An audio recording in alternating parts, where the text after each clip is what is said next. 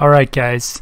Uh, we've got a couple cool requests uh, for Minecraft Dungeons this week, uh, so we're going to work through these.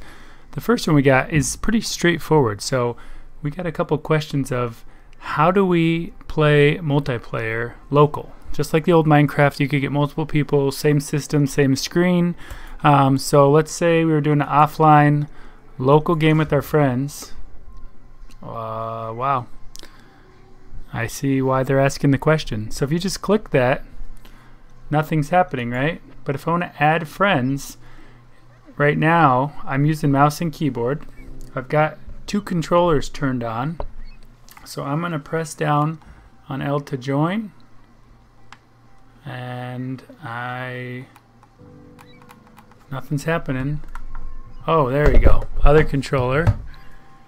Selected a person. I can pick between who I've created. Let's make a new one. Alright, making a new one. And here I'm using it on a controller. I obviously can't use another keyboard, but let's see what it does for us. I'm to get the old blacksmith. Here we go. Select. I can go around here. And now I'm playing with a mouse and keyboard on one. And I'm playing with the controller on the other. Let's see what happens if we try to go different ways. It doesn't let us. Let's see if it gives preference. Oh, player 2 gets sucked back to player 1 if you get too far away. That's pretty cool. Um, but I'm clicking the mouse with one hand and playing with the other. Let's see if I want to add a player 3. Add controller. I've got another controller added, so this is kind of weird that it's not picking it up. Hmm. No, let's see. No, so you can see it's not letting it, even though I've got a second slot here. I'll take a video over here I can mix in at the same time. You can see the setup. Got both controllers on, the system is seeing them both.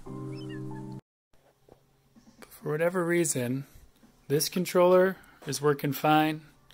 That one's connected it's not not working. So uh, more work on it. It's probably an issue with my computer instead of the game, but it's that simple. You add the controller. One person can keep playing on the computer if they want. One person can play with the keyboard and mouse, and you have yourself a blast. So uh, we'll continue to work through some of these questions we got. It's a great game. Lots of fun going on uh, as people are getting into this game. So let's keep it up. Thanks, everybody. Have a good one.